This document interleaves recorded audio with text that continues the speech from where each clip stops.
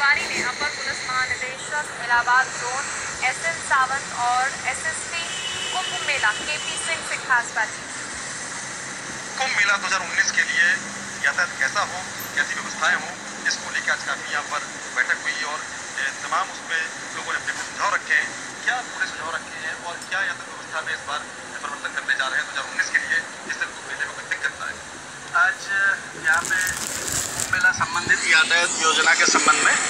Public के हमारे जितने रिप्रेजेंटेटिव्स है, विभिन्न क्षेत्र से आए हैं, चाहे बार एसोसिएशन हो, चाहे व्यापारी हो, चाहे सामाजिक संस्थाओं से, चाहे व्यक्ति विशेष जिनको अनुभव है और जिनका इच्छा है, जो इलाहाबाद के नागरिकों से आज यहाँ पे विस्तृत रूप से चर्चा हो रहा था कि विभिन्न जो हमारा जो ट्रैफ़िक प्लान बनाया गया है, जो योजना बनाया गया है, उसको उनके सामने प्रस्तुत किया गया।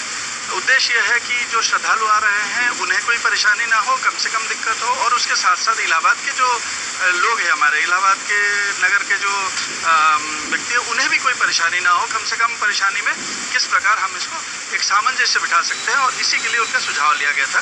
इसके साथ साथ क्योंकि वो यहीं के निवासी है और पिछले कुंभ मेला में इनका बहुत नॉलेज है कि क्या क्या होना चाहिए, क्या असुविधाएँ हुई थी, उस प्रकार असुविधा कैसे रिपीट ना हो।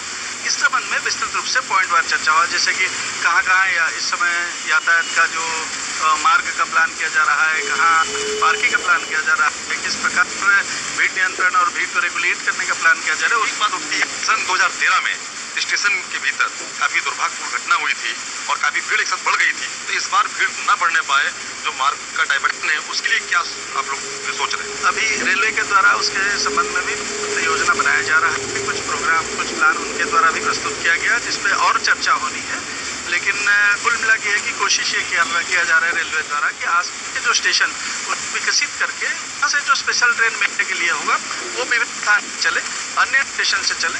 तो तभी ये जो भीड़ है ये सिर्फ़ जंक्शन पे केंद्रीभूत ना होकर ये डिस्ट्रीब्यूट हो जाएगा। तो उससे भीड़ की कुछ प्रेशर कम हो जाएगा और बाकी जो माइक्रो लेवल का द्वारा किया जा रहा है।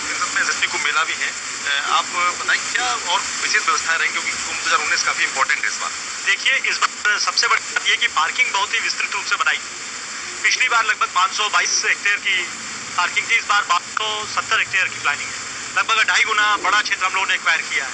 तो योजना तो ये है कि हम जो नॉर्मल दिनों पे जो लोग हैं, एक से दो किलोमीटर तक लाए और जो वीक डेज़ हैं, मेले का जो मुख्य पर्व दिन है, उनको कम से कम तीन से चार किलोमीटर चला माने सबको केंद्र बिंदु ये है कि श्रद्धालुओं को कम से कम सुविधा हो, अधिक से अधिक सुविधा हो।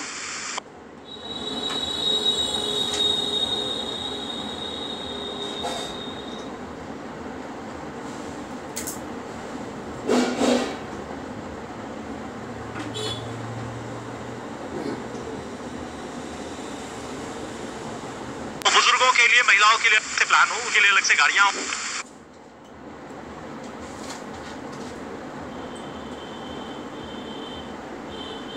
देने जा रही है इस बार जो उत्तर प्रदेश पुलिस है, उसका फोकस है कि जो श्रद्धालु यहाँ पर आए, उन्हें कम से कम चलना पड़े। तमाम सुविधाओं की बात की जा रही है। समय के लिए इलाहाबाद से कैमरा देवेंद्र क्रम के साथ सुशील कुमार तिवारी।